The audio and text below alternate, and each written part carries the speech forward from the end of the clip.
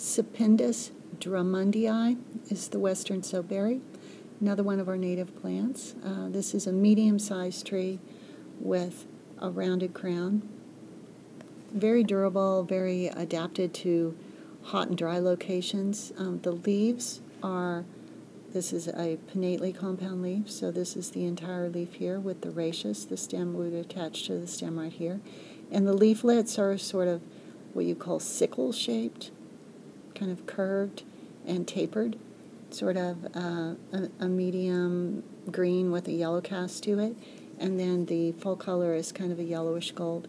These leaves are attached alternately on the stem, and another identification feature on this, as you'll see with the with the uh, flowers and the fruit, that there's no real clear-cut um, terminal bud at the end of the stem.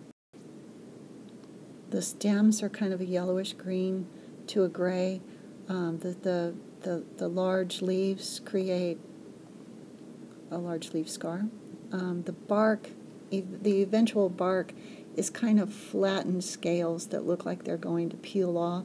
They don't they don't exfoliate. They just have this appearance of being kind of loosely attached.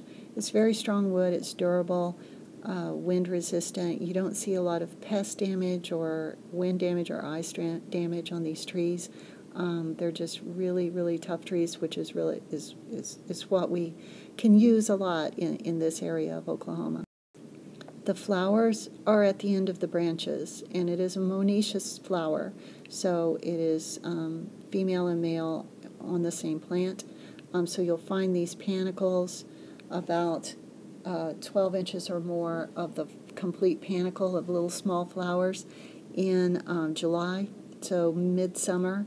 Um, the fruit develops soon after that, starts out kind of green and then develops to this um, sort of pale orange color.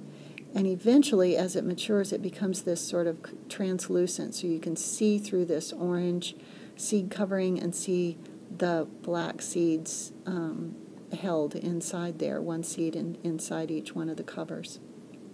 When you crush the fruit underwater, it kind of makes a lather and pioneers used this plant sort of as a, as a soap substitute, slightly poisonous. Um, the seeds uh, can be germinated um, and under an acid treatment. So the seeds are viable, but they have to be treated to, to get them to germinate. The, the fruit holds on during the winter, so you'll sort, sort of see this look after all the leaves have fallen. You can see at the ends of all the branches these clusters of orange seeds and seed coverings.